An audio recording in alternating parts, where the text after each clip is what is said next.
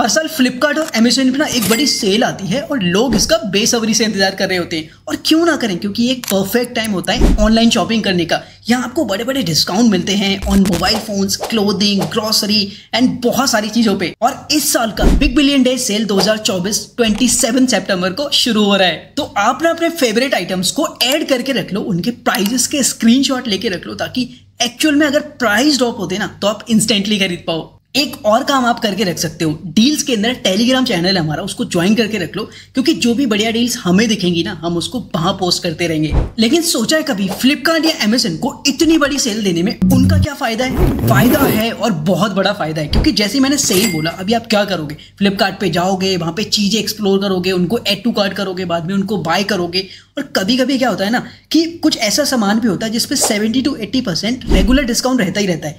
वो भी इस सेल में निकल जाता है, पता है? तो इट्स अ मार्केटिंग टैक्टिक्स यार। अब एक सवाल ये भी आता है कि यार ये जो डिस्काउंट है, वो सच में है या फिर कोई मार्केटिंग प्रैक्टिस है या फिर ये जो प्रोडक्ट मैं डिस्काउंट में खरीदने जा रहा हूँ, ये कोई रेगुलर डिस्काउंट तो नहीं है? कैसे पता करें? इसका एक सिंपल सॉल्यूशन है। देखो, सीधा प्रोडक्ट का लिंक कॉपी करो और गूगल पे सर्च करो प्राइस हिस्ट्री वेबसाइट खोलो और लिंक यहाँ पेस्ट कर दो।